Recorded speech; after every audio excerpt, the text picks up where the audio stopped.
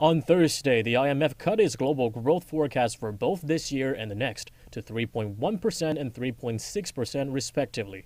That means 2016 will still post the fastest growth rate since 2011. The Washington based multilateral lender says major advanced economies would continue to benefit from supportive monetary conditions and lower commodity prices.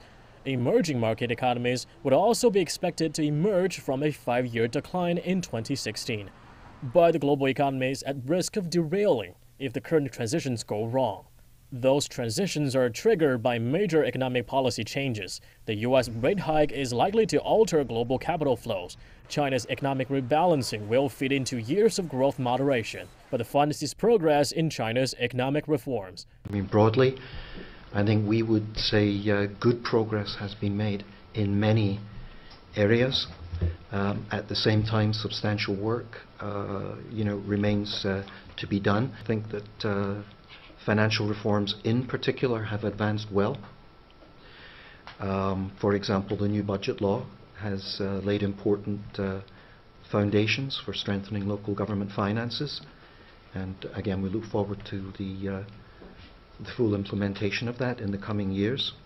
The IMF says it's vital for the international community to support China's transition. Otherwise, the country's slowdown would have spillover effects across the globe through trade. When it comes to the IMF's own reform agenda, the spokesman says it's up to the board to decide. Here, I think, knows the process is underway.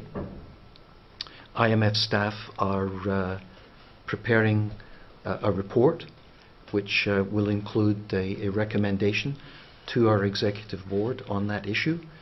And I would underline that uh, the decision rests with our executive board, which of course represents 188 uh, countries. So um, to characterize it, I would say the uh, progress is on track, on schedule. Meanwhile, the IMF also noted that the end of a decade-long commodities supercycle will hamper exporters' economic prospects, and international migration has also become an economic headache for countries involved.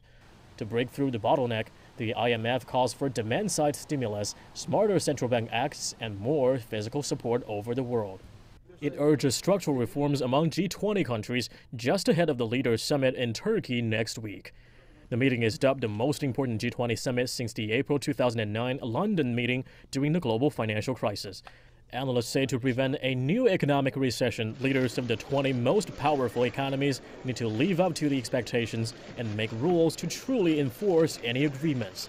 That will give global markets and governments more confidence in funding and managing economic transitions. 下沉 CCTV。